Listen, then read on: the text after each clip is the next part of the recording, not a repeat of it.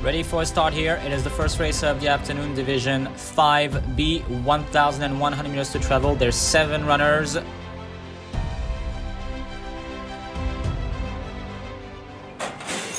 Racing in the first race of the afternoon, 1,100 meters to go. It is Division 5B. Quickest out of the gates is the number 4 Buddy Glory with Achawin on board. In second position on the inside comes number uh, 7 uh, Tengmo. Everpink comes next. On the outside is Yok Petploy. Uh, back of the field is currently for number 6 Everpink. They swing left in the final turn. It is Buddy Glory for Achawin who is in the lead.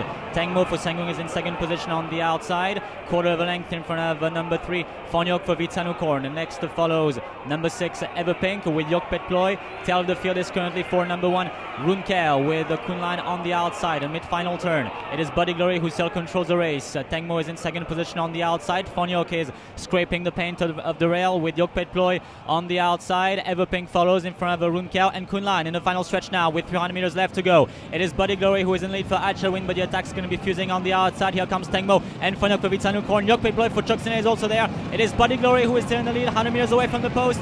Buddy Glory is going home too well. Buddy Glory is going to win the first race of the afternoon. Beats home Tengmo. Fonyok is third in front of Yokpet Ploy. Everpink is next in front of.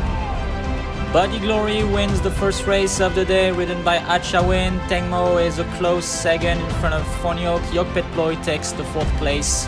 Congratulations, Buddy Glory and Achawin.